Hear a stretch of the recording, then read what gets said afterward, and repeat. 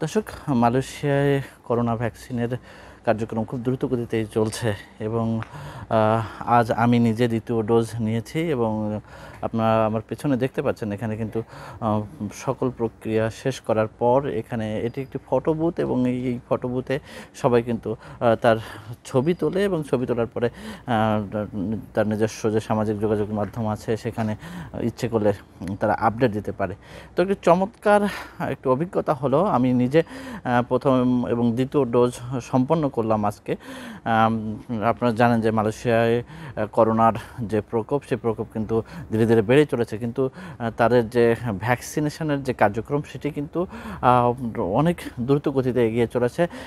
এখনও পর্যন্ত দেশটিতে কিন্তু একাত্তর লক্ষ নব্বই হাজারেরও বেশি মানুষ, প্রায় বাহাত্তর লক্ষ মানুষ প্রথম এবং দ্বিতীয় ডোজ টিকা নিয়েছে এবং শুধুমাত্র প্রথম ডোজ নিয়েছে কিন্তু প্রায় দেড় কোটি মানুষ।